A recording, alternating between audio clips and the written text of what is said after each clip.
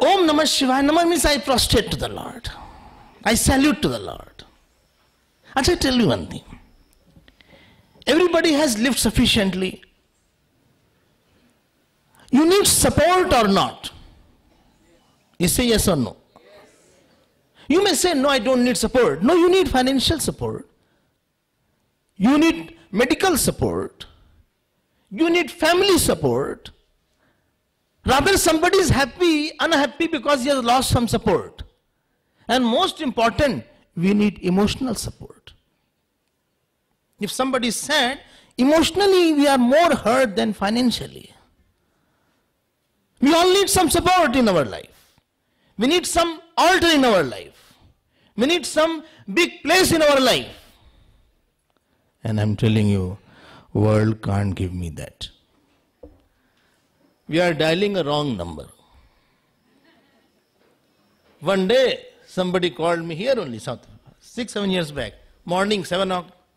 And he called me, he said, Hello, Abdullah?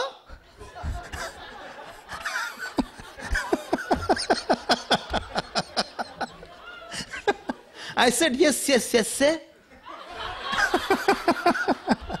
then he started talking everything. I was very happy listening. After listening for some time, after having entertainment, I said, sorry. I, he said, you know, please make this by tomorrow. I should be getting you. I'm going to come to you and I don't know how it will be done. I said, sorry, you have dialed the wrong number. My name is from A, but not Abdullah. Okay. World is not a good support. World is not a good support giver. World will not give the support, especially when you want that. And if you want from any particular person, that person will disappoint you from, from where you had lot of expectation. This is one rule of the world. That person won't disappoint you where you had less expectation. Unless he is Lord and Guru. They alone can fulfill our expectation. I'm telling you. And they did not say, please expect from me. We in our madness only expect from them. Only way to give, be best in our life is, let us salute to Lord and say every day, Oh Lord, I depend on you. I depend on you. I have tried it. And Lord comes to me, comes to us and say, okay, you're dependent on me. I will also give you something, whatever you want. We want many things. We want many kinds of, uh, we want many kind of, sometimes instruction, guidance. Sometimes we are at crossroads. Sometimes we are lost. Sometimes we want to know something more.